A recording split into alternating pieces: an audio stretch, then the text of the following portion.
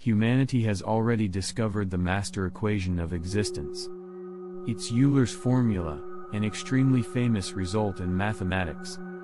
Discovering an amazing formula and recognizing it for what it is are two drastically different things. Most people regard mathematics as an unreal, man-made abstraction. In fact, mathematics is real. It's concrete. It's what existence actually is.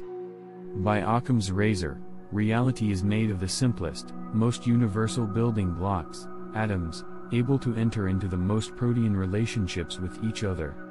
These are sinusoidal waves, hence Euler's formula. One full set of basis sinusoids, sines and cosines, which are orthogonal to each other, constitutes a mind. There are countless such minds, all interacting with each other, and the universe is produced from their interactions. A mind is a functional unit, monad, of existence. Although sinusoids are the building blocks of existence, each sinusoid belongs to a specific monadic mind. There are no free-floating sinusoids. Monadic minds are non-local, immaterial, dimensionless frequency domains. They are singularities, outside space and time. They all exist together in a singularity. These monadic minds are the unextended thinking substances proposed by Descartes. How do they create the dimensional, extended, spacetime domain of matter? They do so via Fourier mathematics connecting the frequency domain and the spacetime domain. This is the answer to the famous problem of Cartesian substance dualism and its notorious interaction problem.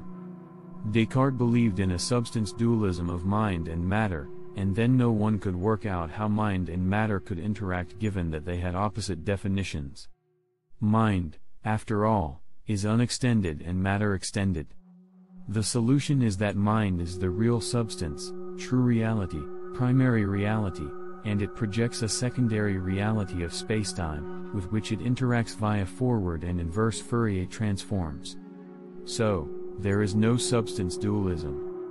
What there is is a dualistic mathematical monism, i.e., one mathematical core reality, of frequency equals mind, non-extension, projects a secondary mathematical domain, of spacetime equals matter, extension. This began as none other than the Big Bang. Because two domains now exist, it looks like a dualism when in fact it is a dualistic monism. There is only one mathematical reality, but it can appear in two different ways, as mind and matter. Descartes, a brilliant mathematician, intuited all of this, but the mathematics necessary to properly explain all of this did not exist in his day. It does now. This is a mathematical reality, not a scientific reality. Descartes and Leibniz got incredibly close to fully explaining everything, but they lacked Euler's formula and Fourier mathematics. Unfortunately, science then fell under the spell of Newton, materialism and empiricism, and moved away from the mathematical idealism and rationalism of Descartes and Leibniz. Science now has to undergo a revolutionary paradigm shift and to become applied mathematics. Science must accept the ontology of mathematics. Scientists must accept that science is grounded in mathematics and has no reality separate from mathematics. That changes the whole nature of science. Science is currently for sensing types.